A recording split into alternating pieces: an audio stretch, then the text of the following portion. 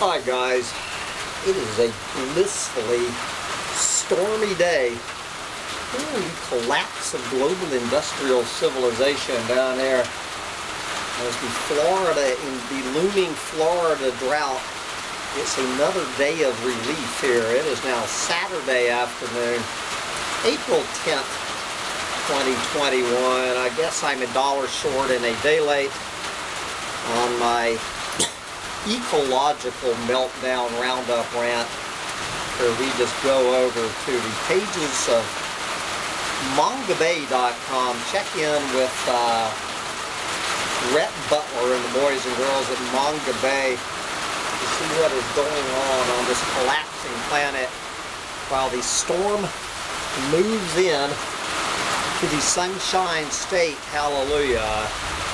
So uh, we're gonna have a backdrop of stormy days in the collapse. I'm gonna, these squirrels are out running around, so I'm gonna put the little squirrel dog down. I love the sound of that rain on that tin roof. So uh, I guess I better talk kind of loud here. Uh, we're gonna start over in uh, I guess the Indian Ocean. How about that? That really narrows it down. Where we have a red flag in the Indian Ocean. Where we're actually not talking about China. We're talking about the European Union here. Uh, red flag. Predatory European ships help push Indian Ocean tuna to the brink I don't believe it, China can sit out a story about overfishing. The Indian Ocean yellowfin tuna stock is teetering on the verge of collapse. And some experts say the European Union, which has profited the most from the fishery over decades, should do more to save it. Europe European Union controlled ships, including those flagged to smaller coastal states like the Seychelles, haul in the lion's share of Indian Ocean tuna, supplying a market worth billions of dollars. Overfishing by these vessels and the EU's less than ambitious proposal to restore the yellowfin stock has led to allegations of a neo-colonial plunder. There you go. A neo-colonial plunder of resources that many developing nations depend on. Yes, a neo-colonial plunder of resources here in the 21st century. Out with the, uh, all in with the new, well, last week, you know, uh, I guess uh, Mongabay has divided the lemons up, and the lemons one week, the lemonade the next. Last week we were reporting about how uh, humanity is exceeding all of these planetary boundaries. Uh, but on this episode of the Mongabay newscast, they speak uh, with two uh, copium-soaked apocalyptimists so we can uh, see how though humanity, though humanity exceeds key planetary boundaries, there are many solutions, many solutions to uh, humanity already exceeding key planetary boundaries. Yes, I am quite sure sterilizing the human race is at the top of their list. I'm not going to insult my intelligence or yours.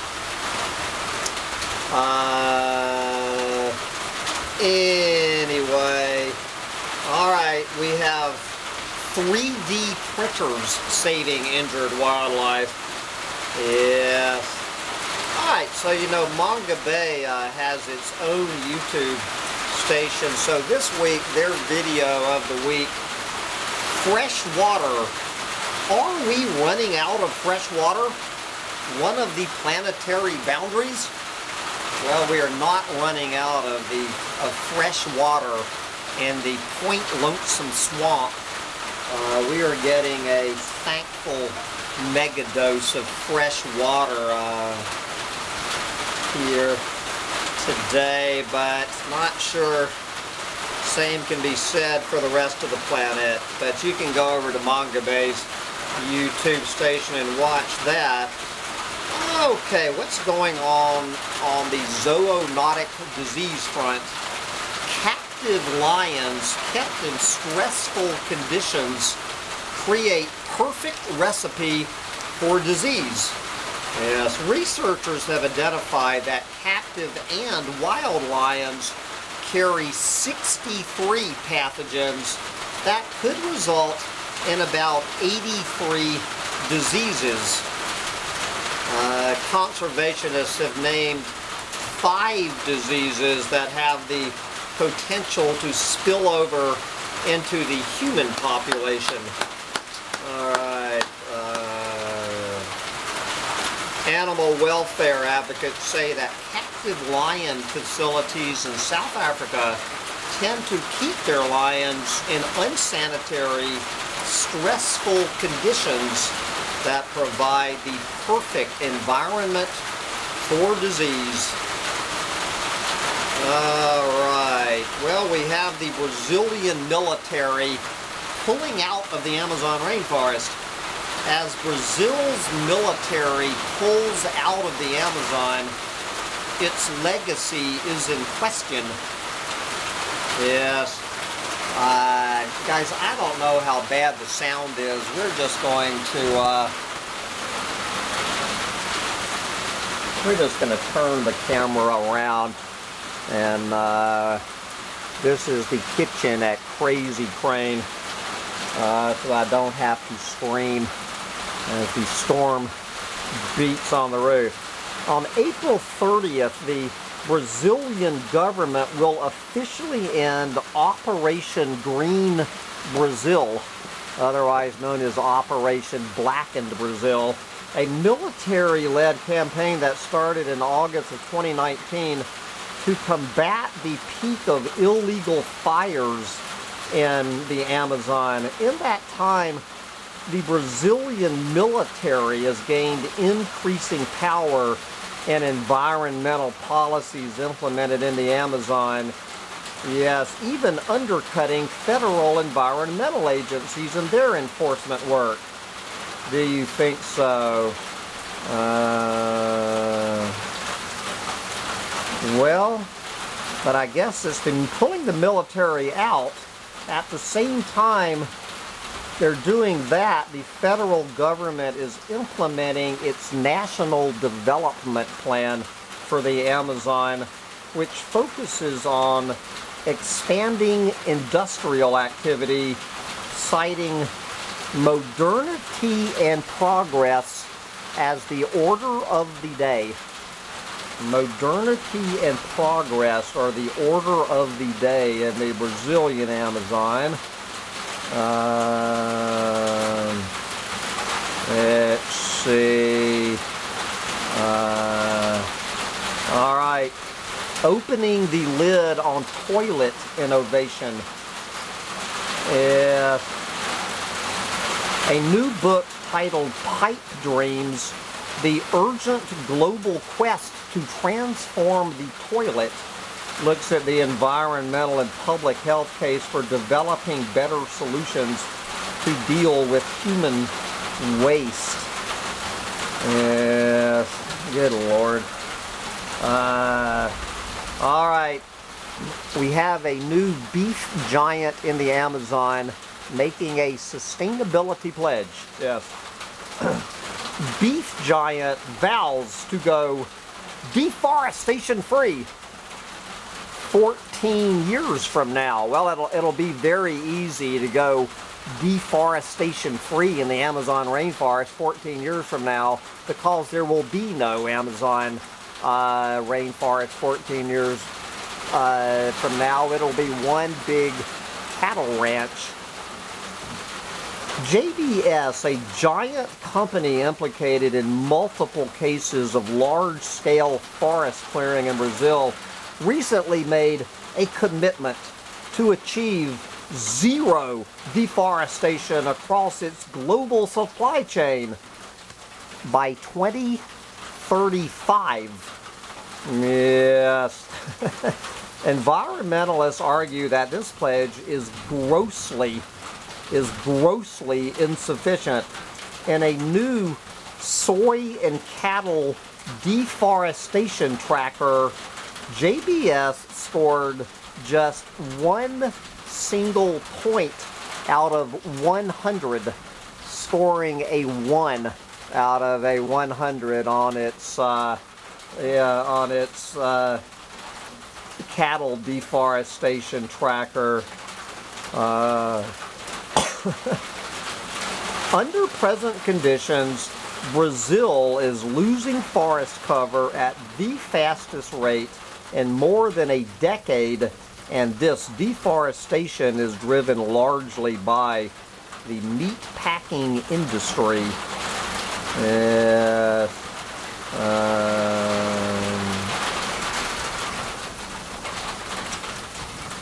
All right, here's another story of, you know, as soon as they describe a new species, they already is classified as threatened with extinction the day they discover it. This is some, a spiny new chameleon. The day they discover it, they uh, put it on the threatened with extinction list, I bet. Uh, what's speaking of extinction, what is going on with the swift parrot? The swift parrot of Tasmania. Australia's pivot to plantations may be too late for nearly extinct parrots. Critically endangered swift parrots are threatened by ongoing deforestation in the Australian state of Tasmania with recent estimates suggesting there may be fewer than 300 of the birds left in the wild. Uh, forestry operations are exempt from seeking federal environmental approvals in Australia, unlike other industries. Uh, say a swift goodbye to the swift parrot. All right, what is going on with palm oil waste in Indonesia? palm oil waste is the latest item to be declared non-hazardous by Indonesia. A powdered clay used to clarify palm oil has been removed from Indonesia's list of hazardous waste, prompting warnings from environmental activists about an increase in dumping of untreated waste. The delisting by the government follows years of lobbying by businesses who say the treatment costs are onerous. Yes, and they want to be allowed to sell the waste known as spent bleaching earth. Don't you love that term? Spent bleaching earth, uh, which is in demand by cement producers and the construction industry. Good Lord. Uh, the, re the regulation that removed this crap also delisted the ash left over from coal burning again at the behest of industry. Do you think so? What is going on with the mangroves in Java? I didn't know there were any mangroves left in Java, but there won't be for long. Java's mangroves pay a high price for stopping plastic flowing out to sea. Mangroves are known to trap plastic waste and stop it from entering the sea, but this defense comes at a high cost to mangrove forests themselves. Researchers working in central Java found plastic carpeting half of the mangrove floor, uh, covering roots and sediment layers and starving the trees of oxygen. The plastic garbage accumulation also harms mollusks, crabs, and other soil-dwelling organisms, forming the coastal food web's foundations, which could trigger cascading impacts for larger animals. Yes. Do you believe that a coal miner that polluted an Indonesian river got off with a slap on the wrist? Hmm. In February, a coal slurry spill in a river in Indonesia. Well, of course, coal slurry is no longer a hazardous material. Uh, but back when it was a hazardous material, couple of months ago in February, a coal slurry spilled in a river in Indonesian Borneo killed thousands of fish and forced downstream municipalities to cut off their water supplies. Yes, the government issued a decree requesting that the company repair all of that crap. Uh, but activists say the official response is too light. Yes, and there you go. You will not believe that in Malaysia, the fate of a peat forest hangs on a single powerful state official. the government of Malaysia's Selangor state appears intent on rescinding protected status for the remnants of a once sprawling peat forest that is home to indigenous people and threatened wildlife. it wants to allow what it calls a quote mixed development project on 2,300 acres of the Kuala Langat North Forest Reserve, which has drawn widespread opposition from indigenous people, environmental organizations, and a former environment minister. Uh, environmental activists point to prevailing regulations that they say should shield the area from being degazetted, but state laws largely favor the powerful leader of Selangor. Do you think so? Uh, Amirudin Shari heads both the state government and the board of one of the companies pushing for the development project. Okay, let's head over to a protected area in Colombia. Deforestation rises in Colombia's Chiribiquete National Park as cattle invade. Yes, Chirib Chiribiquete National Park is a UNESCO World Heritage Site and the largest continental protected area in Colombia, comprising more than 4 million hectares, otherwise known as 10 million acres of land in the Colombian Amazon. But for the past several years, the Colombian Amazon has been hit harder by deforestation than any other region in the country. Do you think so? Satellite data have registered an unusually high number of deforestation alerts inside the park in January. Uh, so far, since September of 2020, over 1,000 hectares or 2,500 acres have uh, been obliterated out of a national park into a cattle farm. Imagine that. Um, let's look at organized crime in the Amazon. Relentless deforestation has pushed the Amazon rainforest to the brink of an ecological shift from rainforest to savanna with potentially devastating consequences for climate change and biodiversity.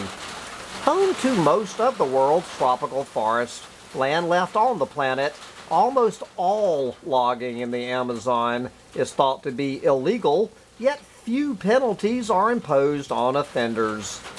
Yes.